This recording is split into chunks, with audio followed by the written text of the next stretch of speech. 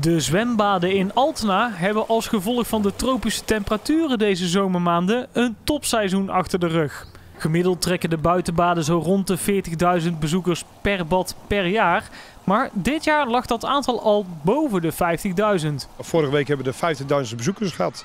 Sinds hele lange tijd is dat uh, niet meer geweest. Dus uh, als je kijkt naar de aantal dagen, zomerse dagen en de warme dagen, ja, is het super geweest. Ja. We hebben afgelopen woensdag de 50.000ste bezoeker gehad. En dat is sinds 2009 is dat niet meer voorgekomen. Maar ja, door dit mooie weer en het, en het, gewoon het, het, het, ja, het fantastische seizoen is het gewoon heel goed gelopen.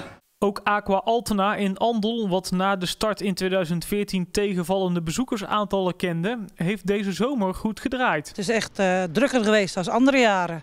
En uh, in het begin hadden we wat moeite met het nieuwe bad, maar nu uh, weten de mensen ons goed te vinden.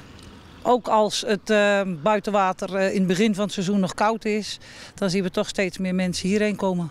Om elk seizoen weer goed door te komen zijn de zwembaden in Werkendam en Sleeuwijk altijd op zoek naar vrijwilligers. Nou, we zoeken nog steeds bij de eindschoonmaak zoeken we nog mensen om eventueel mee op te, op te ruimen.